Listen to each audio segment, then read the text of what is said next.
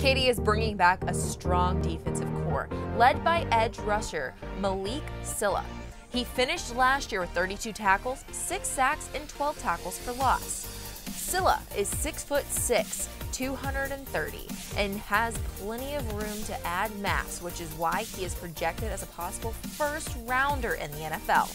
Look for Sylla to give district coaches more sleepless nights before he heads to A&M to play his college ball.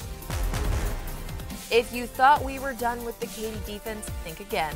Linebacker Ty Kana was a unanimous first team all district selection in 2020 and will be back for more this year.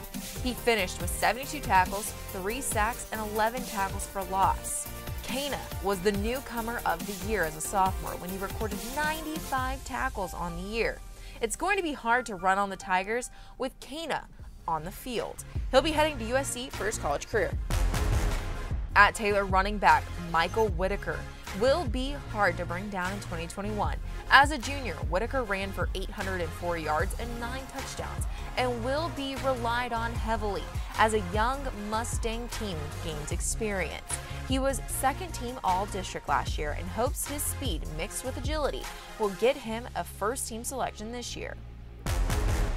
The best returning wide receiver in this district is Josh McMillan from Katy Tompkins. McMillan caught 34 passes for 529 yards and 8 touchdowns last year, including two key scores in the Falcons' upset of Katy. He was a first team all district selection last year and will help Tompkins with their quarterback transition from Jalen Milroe to Cole Francis. McMillan is committed to Houston Baptist for his college ball.